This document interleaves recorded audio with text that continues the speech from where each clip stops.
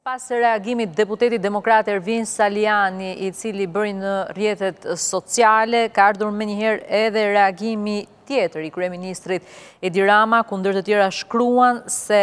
kurse ti bë e vogël e prehrit të bësë së madhe, je një shpifës i neveritshëm I të njëjtit lloj si i sapo dënuari për veprën penale të kallëzimit të rremë, por ndryshe nga ky i fundit që i shërbeu trimërisht atij të cilit i shërben burracakërisht duke pritur me kokën lart dhe me gojën hapur të të hedhë nga penxherja e katit të tetë atë lëndën luftarake që pastaj ti e pështyn në mexhlis për llogari të tij, u the me të madhe shqiptarëve dhe atyre të Rai Tre e jo vetëm atyre se e kishe kallëzuar në SPAK trafikantin e drogës që zbulove në familjen time, po në fakt I gënjeve mu si një skuth që i vë në dispozicion bishtin e spërdredhur çdo shefi të radhës, sepse në fakt nuk bëre asnjë kallëzim pikërisht për të mos përfunduar si ky tjetri i dënuar penalisht për veprën më ekstreme të shpifjes, kallëzim i rremë, sepse megjithëse gjysmë burrë e gjysmë derrkuc mbi prehrin e shefit të radhës si jurist që je ti e dije se kallëzimi yt i rremë do të të kryqëzonte nga gozhda e ligjit si autor i një vepre penale kundër drejtësisë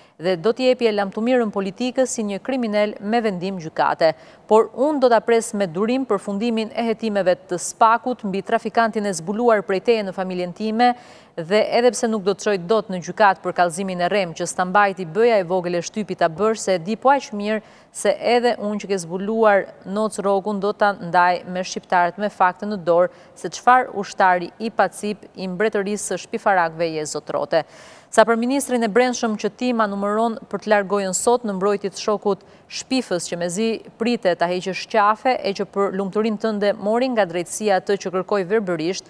Një konkurrent më pak për vendin në majë të prehrit, Fatmir Xhafaj e kreu detyrën e tij si ministër i Brendshëm me nder dhe e dorëzoi me një dinjitet që fara jote hibride nuk ka sesi t'ia dijë vlerën. E sot që flasim, vazhdon t'u shërbejë me nder në Kuvendin e Shqipërisë atyre që ia ridhanë besimin me aq shumë vota, sa zotrote nuk do t'i mbledhësh dot kurrë bashkë në rrugën tënde prej shërbëtori të cilën apo s'u betove publikisht Se do ta lije duke i dhënë lamtumirë politikës nëse bëja me emrin Penxhere do kthehej një ditë në atë selinë ku ti mbaje me krenari tabakanë e kafes së bësë së shkretë me emrin Lul. Po jo vetëm nuk ike kur bëja e madhe erdhi në seli po vajte ti pas tij kur ai u ngjit lart në penxhere për të vazhduar të bësh atë që të bën shërbëtorin e preferuar të të gjithë bëve duke të gënjyer mendja se bishti i spërdredhur i derrkucit do të të bëjë ty kryebë kur të mbyllet penxherja por duke harruar Se ti pa prehër shefi ku t'ulesh je thjesht një gjysmë burrë e gjysmë derrkuc i destinuar të zvarritesh në vijën e llumit të gojës tënde, në vështrim pa respekt të të gjithë kalimtarëve. Kaq për sot dhe atyre që më thonë pse ul veten